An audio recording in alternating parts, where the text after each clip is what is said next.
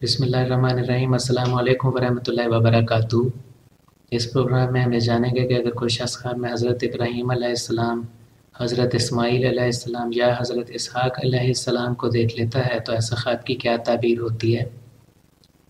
अगर कोई शख्स हज़रत इब्राहीम को ख्वाब में देखता है तो ऐसा ख्वाब देखने का मतलब है कि यह शख्स इस्लाम की तबलीग और अशात के लिए काम करेगा। ऐसा शख्स मस्जिद तामीर करेगा। एन मुमकिन है कि यह मस्जिद के लिए चंदा डोनेशन वगैरह दे।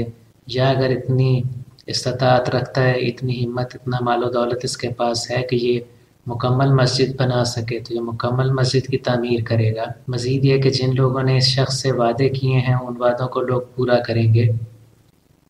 हज़रत इब्राहीम आसमाम को ख्वाब में देखने की तबीर सफ़र करना भी हुआ करता है। बिलखसूस कोई ना कोई मजहबी सफ़र करना, जैसे हज, उम्र वगैरह।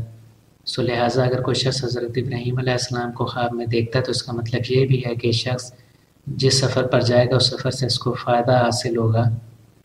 ये शख्स कोई ना कोई मुफीद फ़ायदा मंद सफ़र करेगा।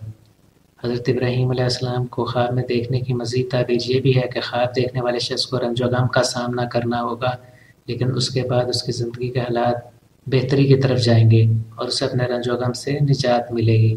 अगर कोई शख्स ख्वाब में हज़रत इसमाईल को देखता है तो ऐसा ख्वाब देखने का मतलब होता है कि ख्वाब देखने वाले शख्स का रिस्क बढ़ जाएगा। अगर ये शख्स कारोबार करता है तो उसके कारोबार में वसत होगी। अगर जॉब करता है तो तनख्वाह बढ़ जाएगी मराहत मिलेंगी, और अगर ये फ़सल काश्त करता है, कोई किसान, ज़मींदार या काश्तकार है, वगैरह वगैरह तो फिर इसकी इस दफ़ा फ़सल से आमदन अच्छी होगी। अगर कोई शख्स हज़रत इब्राहीम आसमाम को देखे तो ऐसा ख्वाब की एक और ताबीर भी हुआ करती है और वह ये कि ख्वाब देखने वाले शख्स को नेक औलाद हासिल होगी। अगर इसकी औलाद इस वक्त है, लेकिन वह सरकश है, बागी है, नाफरमान है तो आने वाले वक्त में इसकी औलाद फर्मा बरदार बन जाएगी। हज़रत इसमाईल को ख्वाब में देखने वाले शख्स के रिश्तेदार और घर वाले इसको छोड़ देंगे। ताल्लुकात इसके ख़राब होते चले जाएँगे, उनके साथ गलत फहमियाँ इतनी बढ़ जाएँगी कि नौबत अलीहदगी तक आ जाएगी। अगर किसी शख्स ने हज़रत इसमाईल को ख्वाब में देखा है और वह शख्स बीमार है तो ये इस बात की दलील है कि शख्स अपनी बीमारी से मुकम्मल तौर पर निजात पा लेगा, लेकिन फ़िलहाल इसकी बीमारी इसके साथ चलती रहेगी। यानी कुछ अर्सा इसको सब्र करना होगा, दुआ करनी होगी और बिल आखिर इसे इसकी बीमारी से निजात मिलेगी। अगर कोई शख्स हज़रत इसमाईल को देखे तो उसका मतलब ये भी है कि अगर ख्वाब देखने वाले शख्स का एक बेटा या इससे ज़्यादा बेटे हैं तो उसका बेटा जो है वो वालदेन से नाफरमानी करेगा। हज़रत इब्राहीम को ख्वाब में देखने का एक मतलब ये भी है कि अगर ख्वाब देखने वाले शख्स का एक बेटा है या उससे ज़्यादा बेटे हैं तो इसका कोई एक बेटा अपनी बीवी को तलाक देगा। ऐसे ख्वाब की मज़ीद ताबीर ये हुआ करती है कि ख्वाब देखने वाला शख्स अपने दुश्मनों को शिकस्त देगा, उन पर फ़तह व कामरानी हासिल होगी। अगर कोई शख्स ख्वाब में हज़रत इब्राहीम आसमाम को नाराज़ देख लेता है तो ये इस तरफ़ इशारा करता है कि ख्वाब देखने वाला शख्स वसाइल होने के बावजूद हज पर नहीं जाता। लिहाजा अगर ख्वाब देखने वाले शख्स के पास माल दौलत है, पैसा है, वो वसाइल मौजूद हैं कि वो हज अदा कर सके तो उसको ज़रूरी है कि वह हज पर जाए। ख्वाब देखने वाला शख्स वसाइल होने के बावजूद अगर हज नहीं करता तो बिल आखिर गुनागार तो वो है।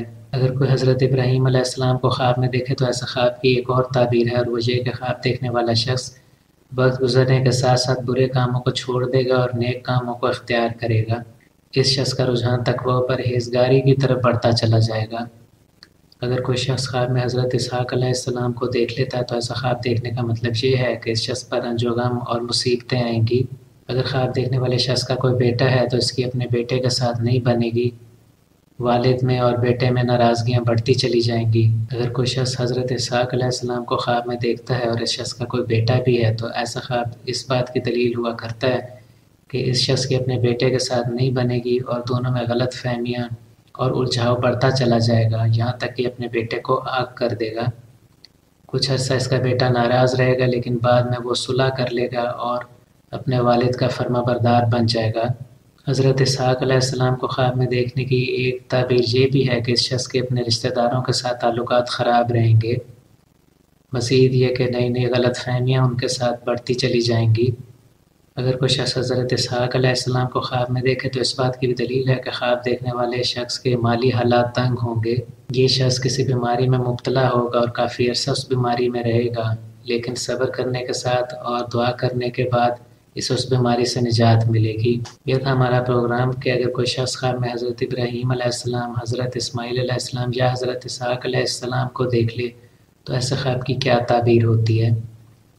इस वीडियो को आप लाइक करें और अगर अभी तक हमारे चैनल को सब्सक्राइब नहीं किया तो प्लीज़ सब्सक्राइब करें। हाजिर होंगे आपकी खिदमत में एक नए प्रोग्राम के साथ इजाज़त दीजिए।